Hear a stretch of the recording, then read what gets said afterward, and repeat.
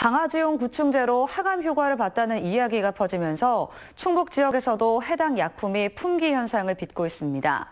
검증되지 않은 효과에 보건당국은 복용을 자제할 것을 권고하고 있지만 지푸라기라도 잡는 심정에 찾는 사람들은 많아 동물병원조차 해당 약품을 확보하기 어렵다고 합니다. 이태연 기자입니다.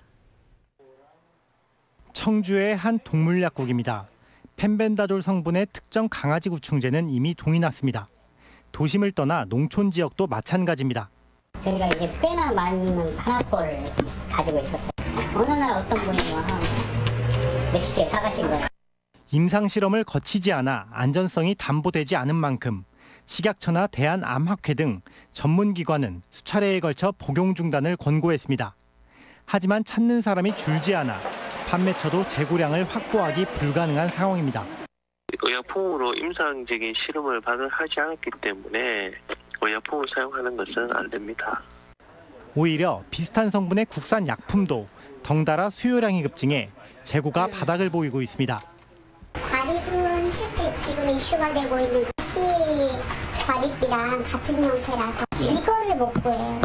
권할 수도 막을 수도 없는 사회적 현상 속에서 오늘도 희망과 우려는 공존하고 있습니다. CJB 뉴스 이태현입니다.